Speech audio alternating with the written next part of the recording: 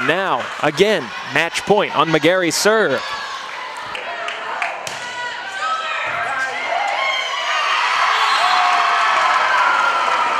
Right now, we're joined by LaSalle head coach Caitlin Rimgala. Caitlin, uh, what did you see from your team? Uh, looked like they faded maybe a little bit as the game went on, or maybe it's just the fact that Delaware State wasn't ready to play in the first set and they got to be by the third set. A little bit of both. I think that we've talked all week at practice about coming out stronger. In the last six matches that we've had, we had kind of a slow start and a big finish. This match we had a big start and kind of a slower finish. Um, but it should be expected that teams make adjustments to your style of play. So we tell the girls and talk about it between sets two and three. Expect better volleyball in set three than you did in set one. And that was the case tonight. Fortunately, we rose to the occasion, even though Delaware State upped their performance in set three. Double block attempt, LaSalle. Height, another set. Kohlmeyer again, tips it over the block. McBean for Delaware State. Height another set. Swing. Felton, a great attempt.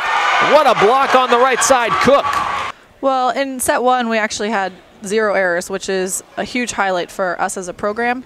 And we talk about doing the, the little things well, but to do all the big things the right way, to be able to attack and serve and block and dig with no errors is a huge step forward for LaSalle volleyball.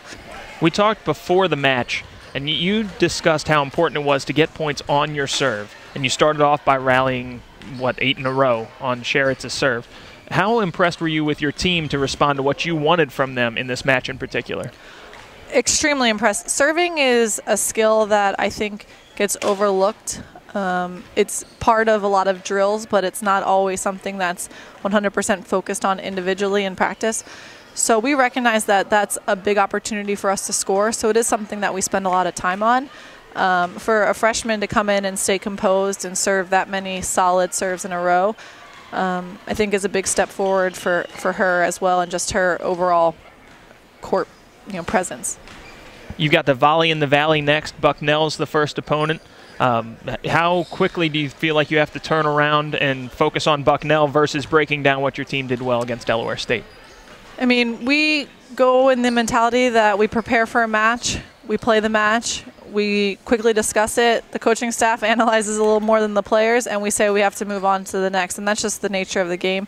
Um, going in this weekend, we're we're not the underdog in any match, but we also aren't the decisive winner. So we feel that it's going to be extremely competitive weekend for us. So we start preparing right away. Um, you know, we practice in our gym here tomorrow and then we leave on Friday. So hopefully we come out and can play as hard as we did tonight. Thanks a lot for spending a few minutes with us and good luck in Poughkeepsie. Thank you. Pleasure.